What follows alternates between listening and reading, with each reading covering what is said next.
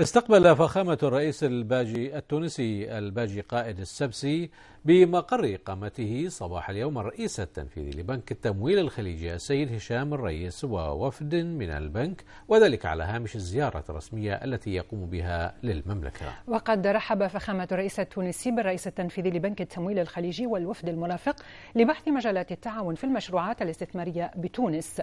واستعرض الرئيس التنفيذي لبنك التمويل الخليجي خلال اللقاء استثمارات البنك في تونس وعلى رأسها المركز المالي التجاري باستثمارات تصل إلى مليار دولار والذي يأتي كنسخة حديثة للمرفأ المالي بمملكة البحرين والمركز المالي بدبي.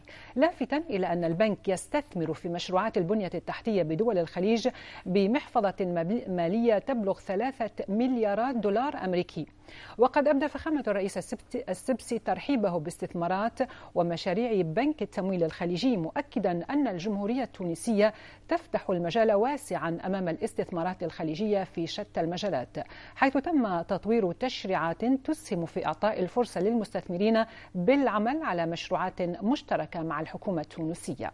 وفي ختام اللقاء اللقاء قدم الرئيس التنفيذي لبنك التمويل الخليجي هدية تذكارية إلى رئيس الجمهورية التونسية الشقيقة.